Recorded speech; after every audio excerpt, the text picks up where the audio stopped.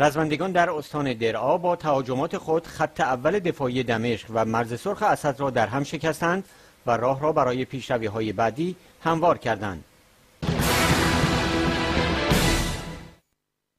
شهر نووا در استان درعا شاهد پیروزی های پی در پی انقلابیون بود.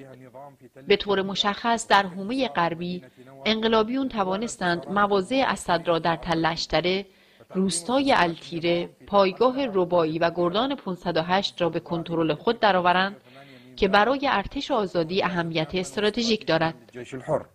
تکمن اهمیت تحریر هذه النقاط العسكريه اهمیت این مواضع نظامی در در هم شکستن محاصره شهر نوا و در هم کوبیدن خط اول دفاعی دمشق نهفته است. خط دفاعی اول اسد برای دمشق از شرق ازرع تا غرب نوا ادامه دارد و مرز سرخ است. اما انقلابیون توانستند این خط را در هم بکوبند و برای تکمیل کردن کنترلشان بر منطقه غربی چشم به سمت تلجمو و شیخ سعد دوختند. نوا قبلا در محاصره بود. ارتش اسد رو در اطراف شهر نوا دور زدیم و سیاستی که قبلا در درعا بود آزاد کردن زمین از جنوب یا شمال بود. ضروری بود که از جنوب شروع کنیم. الحمدلله تپه های اطراف نوا رو در کنترل داریم. گام بعدی شیخ سعده. و اگه به شیخ مسکین برسیم نقطه بعد ازرعه که انشالله محاصره درعا کاملا تموم میشه.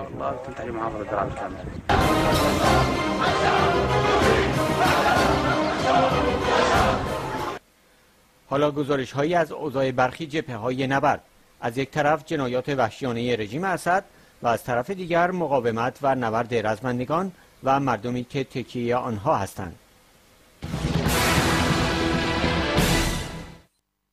و الى الداخل السوري حيث دخل اتفاق در پی توافقات قبلی بین المللی در مورد کمک به ساکنان محاصره شده شهر هومس که اسد بارها از آن سرپیچی کرده بود رزمندگان مستقر در شمال و غرب این شهر موافقت کردند با سلاحهای سبک خود بیرون بکشند تا ارگانهای زیربط بین المللی بتوانند به ساکنان این شهر که بیشتر از دو سال است در محاصره ضد انسانی اسد قرار دارند رسیدگی و کمک های لازم را بکنند.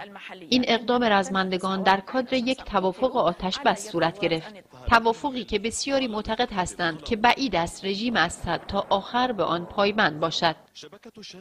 از سوی دیگر گزارش های منتشر شده حاکی است تنها در یک روز بیش از 194 نفر از مردم سوریه به دست نیروهای اسد کشته شدند. رزمندگان نیز به تلافی این جنایات ضرباتی به نیروهای اسد وارد کردند. فرمانده گروهان 48 نیروهای ویژه مزدوران اسد به نام محمد معروف در نبردهای لازقیه در شهر کسب به دست رزمندگان به هلاکت رسیده است. در اطراف پایتخت و منطقه قلمون انقلابیون توانستند به انبارها و مخازن موسوم به 595 واقع در شرق قلمون دسترسی پیدا کنند. در شهر حلب نیز بر اثر بمباران هوایی منبع اصلی ذخیره آب این شهر تخریب شد. و تمامی مناطق و جاده های اطراف در زیر آب قرار گرفت. هواپیماهای جنگی اسد اقدام به بمباران اطراف ساختمان مرکز فرهنگی این شهر در منطقه هنالو کردند.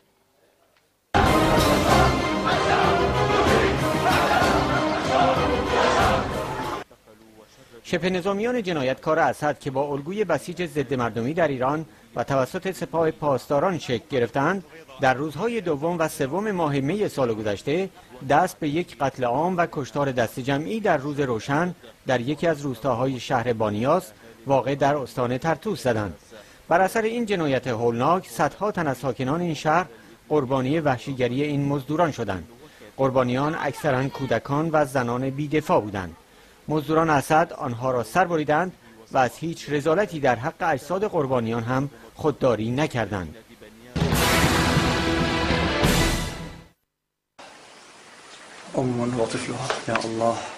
في الثاني والثالث من شهر آيار من العام الماضي سال گذشته در چنین روزهایی مزدوران اسد به شهر بانیاس و روستای البیزا در استان ترتوس یورش بردند و کودکان را جلوی چشم پدران و مادرانشان سر بریدند و هر چه می توانستند کشتند و با خود بردند.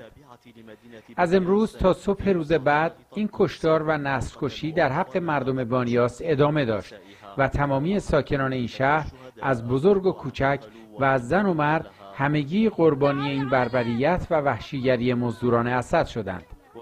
این مزدوران خانه ها را به آتش کشیدند. فقط نفرات اندکی توانستند بگریزند و خود را به مناطق جنوبی این شهر برسانند. الان مقابل قرية البيضاء التي تم گزارشگر تلویزیون رژیم اسد می‌گوید ما الان مقابل روستای البیضا از توابع شهر بانیاس هستیم که نیروهای عرب سوریه به اون وارد شدند. این وحشیگری را تلویزیون دولتی سوریه نیز انعکاس داد و اسد از ارتکاب این جنایت و علنی کردن آن در آن زمان ابایی نداشت. این جنایت علیه بشریت تحت فرماندهی چند تن از سرکردگان اسد به نامهای علی کیالی و علی وجیه شدود انجام شد که هر دوی این جنایتکاران در درگیری با رزمندگان سوریه در ماه نوامبر سال گذشته به هلاکت رسیدند.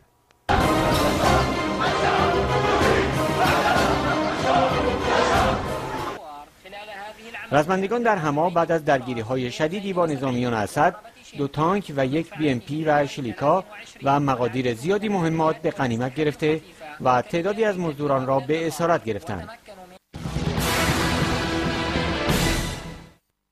بعد از آزاد کردن تلمله و عقب نشینی نیروهای اسد از تل سلبه در حومه هما و بعد از پیشروی چشمگیر و به غنیمت گرفتن تعدادی از ماشینالات سنگین و تسلیحات سبک در مناطق مختلف در حومه شمال غربی انقلابیون به سمت دیر مهد پیشروی کردند نیروهای اسد و شبه نظامیان آن در 19 ماه گذشته نیروهای زیادی به مناطق تحت کنترل انقلابیون فرستاده و توانستند روستای تلمله را به کنترل خود درآورند.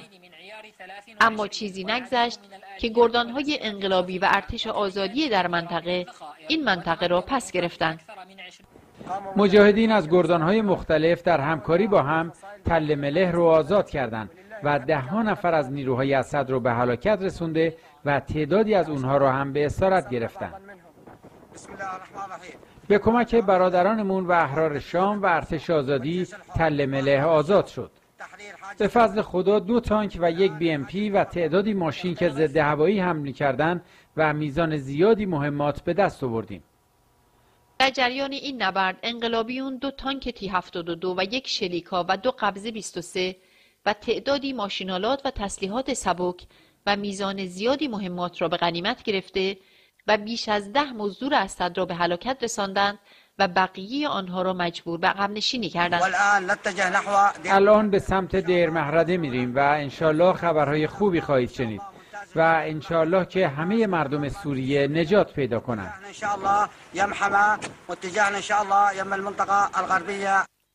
نیروهای اسد از ترس پیشروی انقلابیون از پایگاه تلسلبه عقب نشینی کردند. تلسلبه و پایگاه تلمله در کنترل رزمندگان است. این مناطق بعد از درگیری های شدیدی که با نیروهای اسد و مزدوران حزب و شیطان رخ داد آزاد شد. انقلابیون تلاش می کنند به سمت دیر مهد پیشروی کنند.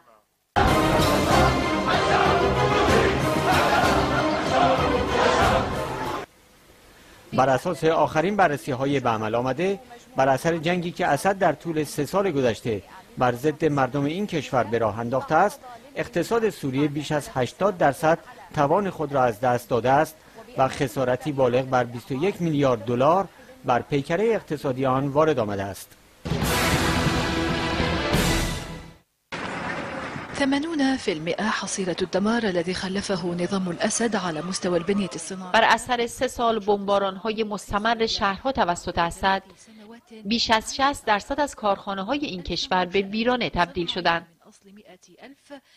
طبق گزارش منتشر شده در این باره بیش از 60 درصد از مراکز تولید به طور کامل نابود و 40 درصد باقی مانده نیز با خسارات جزئی تر که به آنها وارد شده همکنون به کار خود ادامه می دهند.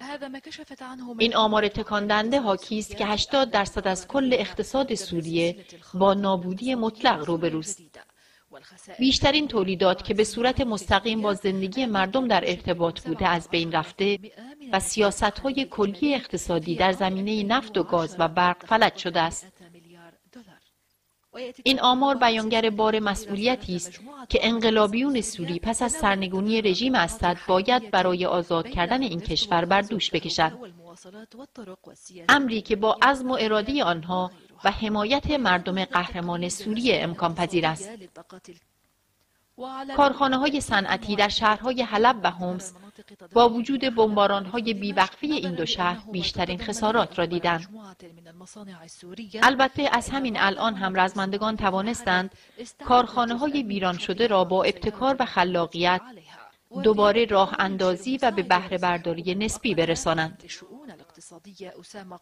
نماینده منطقه شیخ نجار در ائتلاف ملی اعلام کرد به کمک مردم این ناحیه در سال گذشته موفق شده ایم تقریبا سی درصد از ویرانی های صنعتی را که بر اثر بمباران ها نابود شده بودند دوباره بازسازی کنیم. در طول سه سال جنگ بر اثر جنایات رژیم اسد اقتصاد غیر نفتی سوریه حداقل 21 میلیارد دلار متضرر شده است. به گفته کارشناسان با روی کار آمدن یک دولت مردمی می توان در طول پنج سال تمامی این خسارات را جبران کرد و کشور را از بحرانهایی که مکنون با آنها روبروست بیرون کشید.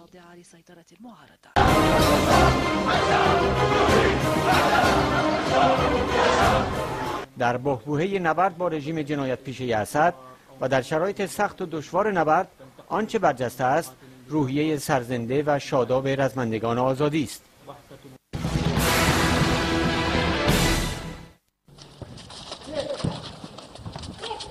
في ظل الاشتباكات اليومية والقصف العنيف الذي تشهده شهر قنیتره دائما شاهد درگیری میان رزمندگان با نیروهای اسد و بمبارانهای روزانه است.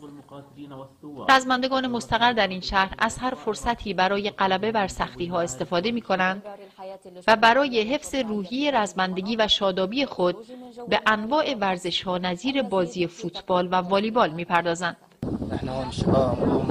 ما اینجا برای ارتقای وضعیت جسمی لیاقت بدنی کار می‌کنیم و برای بالا بردن روحیه رزمنده به بازی فوتبال و والیبال زیر بمباران های روزانه می‌پردازیم. مسابقات ورزشی بین رزمندگان و ساکنان این شهر در این مکان اجرا می شود. این بازی های دوستانه هم اتحاد میان آنان را افزایش می دهد هم صمیمیت و دوستی را گسترش می دهد. مشاهده صحنه های درگیری و بمباران باعث خستگی ذهن ما میشه.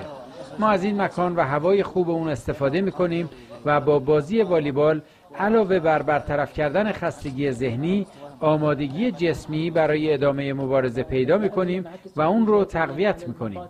اجرای این برنامه ها و بازی های جمعی تأثیر مثبت زیادی در بالا رفتن روحی رزمندگانی دارد که تماما با صحنه های دلخراش و شرایط سخت مبارزه دست و پنجه نرم می کنند.